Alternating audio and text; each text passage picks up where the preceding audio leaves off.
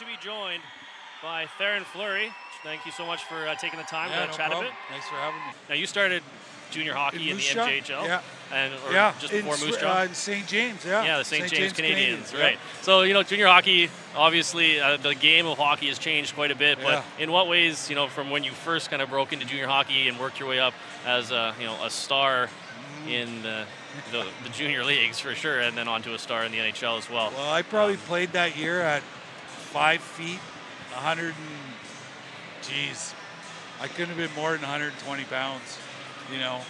I had a good year, and uh, well, I was originally drafted by the Winnipeg Warriors, who are now the Moose Jaw Warriors, and uh, and so they brought me in uh, from my hometown when I was 15, and I played with St. James and then uh, I would practice every day with the big team, the Winnipeg team. So they were getting me ready for the year I turned 16, so that I could be a part of the Western League. And, and uh, it, to be honest with you, I don't know how I survived that first year because you know I'm playing against guys that are 20, 21 years old, and I was 15, and I, you know, if if somebody skated by me, their wind would have blown me over, you know. but uh, you know, and then and then the team got sold that year, and I moved with the team to Moose Jaw, and, and uh, what an incredible hockey town that was, and amazing fans, amazing support, and you know, it's not any different than here in Drumheller. It's a you know a community sort of run team, and Yep. and uh, you know it was pretty amazing uh, to to play those four years in Moose Jaw, and you know have the success that I did, and played in a couple World Juniors at that time, and and yeah, so it was amazing, amazing experience.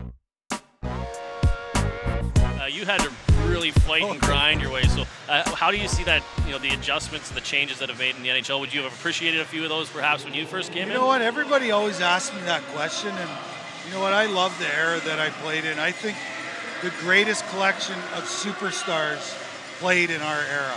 You know, and uh, you know it was amazing. I got a chance to play with Gretzky and Messier and Lemieux and Sakic and Yzerman and all those guys, and played against them and played with them, and uh, you know. Uh, I, I was very, very satisfied with my career, and you know, I don't think I could have done much more, you know, than what I did, and you know, especially for a guy that was told he wasn't going to play one game in the National Hockey League because I was too small.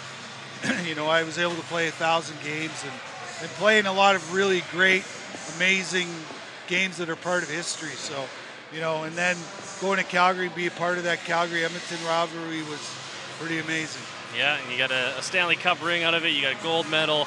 Uh, you're second all-time leading scorer of the Calgary Flames, and Mr. Fleury, it's been an absolute honor to sit and chat with you. So thank you for your I time. appreciate it. Thank you.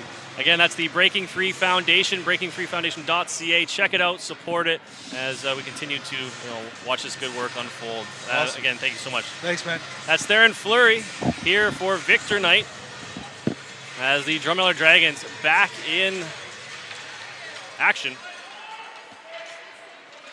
And we could have talked a whole lot longer. What an absolute honor. Again, I'm a Calgary boy, so that was pretty cool.